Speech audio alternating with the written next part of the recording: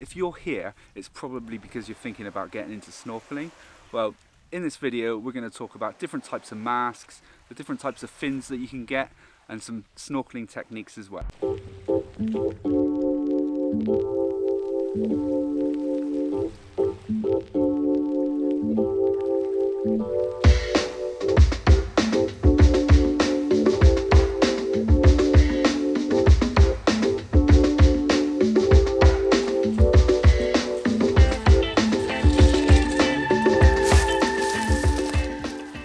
Where do we start? Uh, I mean, I, I think that the, the first place to start is always to talk about what mask to buy.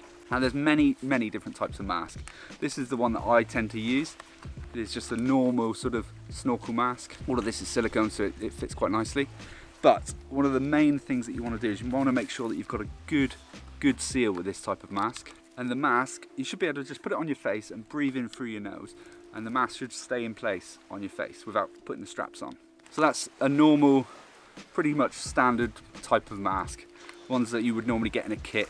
This is a slightly better quality one, but I'll get into that in a bit.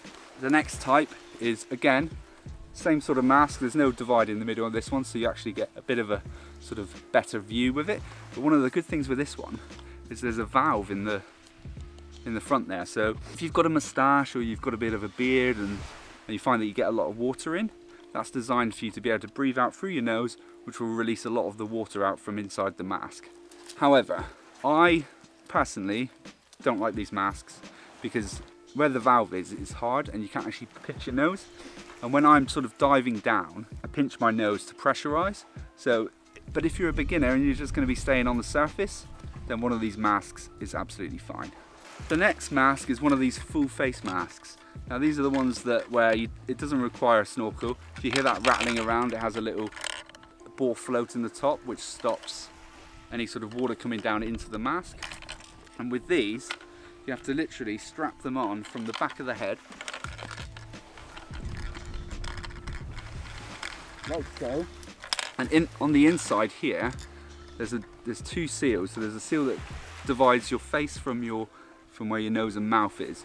Now these are good if you're sort of new to snorkeling. There is a bit of controversy of as to whether they are safe or not. I think that if you are going to go out with one of these masks, it's always best to have somebody with you, just in case you get into any trouble. But one of the things with these as well is you can actually breathe in through your nose and out through your mouth, which when you've got the individual mask and snorkel, you're not able to do that. Personally, again, these masks aren't the best for diving down, so I tend not to use one of these myself. I just tend to use my normal sort of full face mask. Snorkels wise, this is my one that I use pretty much all the time. It's got a silicone rubber mount, so it's just really comfortable in the mouth.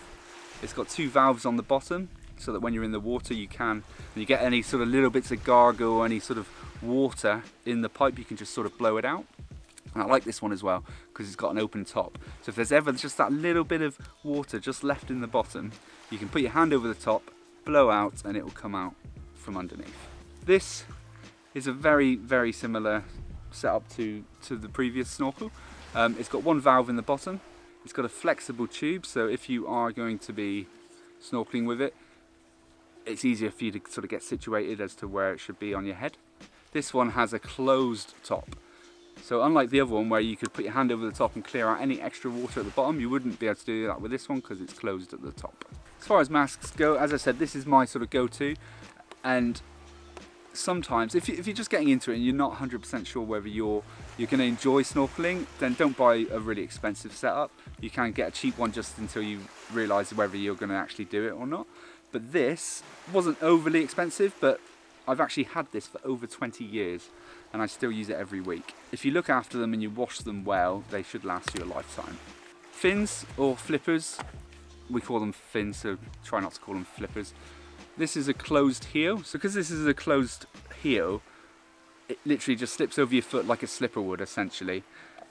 And there's not a huge amount of room for having any sort of boots underneath. So if you are going to be snorkeling or anything and you want to wear like boots underneath or wetsuit socks, then there are available as well. Ones with straps on the back so you can actually still wear boots on them. They don't fit as snugly, but you can you can keep them on nice and tight with the straps. Here in the UK, it doesn't tend to, the water temperature doesn't tend to be warm enough to actually go in the water without wearing a wetsuit. There's another good reason why you should either wear a wetsuit or a rash vest. When snorkeling, you spend a huge amount of time with your face in the water and your back exposed to all the rays from the sun. And it doesn't matter whether you live in the UK or whether you live somewhere in hotter temperatures or anything like that. It's always best to keep your back covered to save you from getting any sort of skin damage on your back.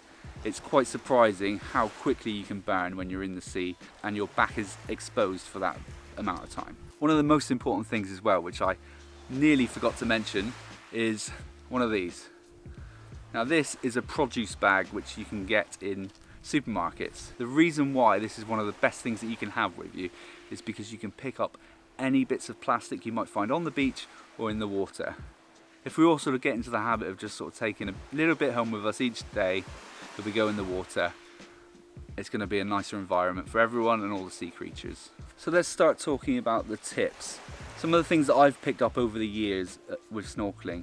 One of the main things is relax. When you're in the water, you want to sort of keep your keep your body fairly fairly relaxed. We don't want to be using fins and flipping crazy because you will just burn yourself out energy wise. But one of the hardest things and one of the things that you'll need to sort of get to grips with sooner rather than later is getting used to breathing through a snorkel with your face in water.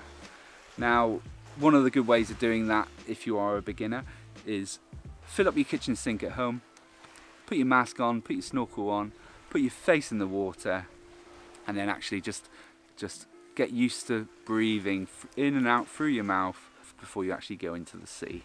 Swimming pools are another good way to practice as well. Anywhere where it's sort of a controlled environment is always going to be more safe than going straight into the ocean for your first snorkel.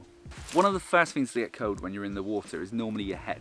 You're not used to having your face or head in the water for a length of time, so one good thing to have is always a hood. You don't necessarily need to wear it all the time. Um, this one's got a slight peak on it, so it's not the best for wearing a mask with it. If you're thinking about taking this up and, and you want to go in the water more often than sort of just in the summer, then a hood is definitely a must. Also, if you've got short hair or no hair, a hood's good to stop your head from getting sunburnt as well. Okay, so once you've started snorkeling and you've been doing it a while and you're sort of getting your confidence up, you might want to start thinking about diving under the surface. One of the first things to do is to make sure that you've mastered the ability to blow water out through your snorkel.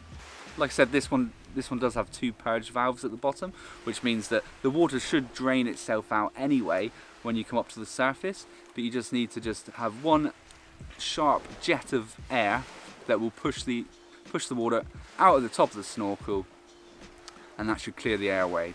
If you want to start diving down and you're unsure of how to do this, one, practice. If not, take the snorkel out of your mouth and dive down without it. As I was saying, in the UK, wetsuits are very important. I do wear one all year round. In the winter months, I wear a 5-3, which means it's a 5 mil thickness on the chest and a 3 mil thickness on the legs and the arms. And then in the summer months, I wear a 3-2, which is a 3 mil thickness on the chest and a 2 mil thickness on the arms and legs. I have had a mixture of back zips and chest zips throughout the years, but I find for my own personal comfort, I prefer a back zip because they're easier to get out of. And when you've been in the sea for hours and you get out and you're exhausted, the last thing you want to do is wrestle yourself out of a wetsuit. Other than that, that's been my guide to snorkeling if you are new to it. The one thing that you'll find when you get into this is you will fall in love with the ocean and you actually be surprised actually how much you can see.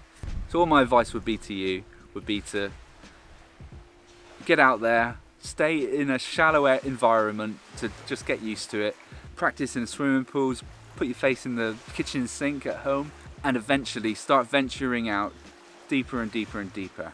Another thing which I think is worth mentioning as well, it's important to have a tow float.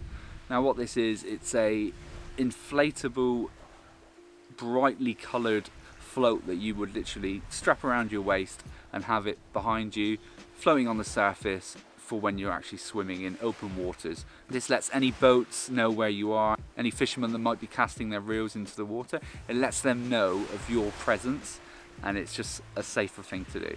Especially if you're planning on snorkeling in sort of an open water area. But yeah, that's my guide to to snorkeling. Thank you very much for watching. I hope you enjoyed it. If you are new here, consider subscribing. I make a lot of snorkeling videos and just sort of beach activities. And, and if you love Cornwall in the UK, I do a lot of videos based here because this is where I live. Don't forget to hit the like button as well because that helps the channel. Leave a comment if you have any questions and I'll see you in the next one. Cheers.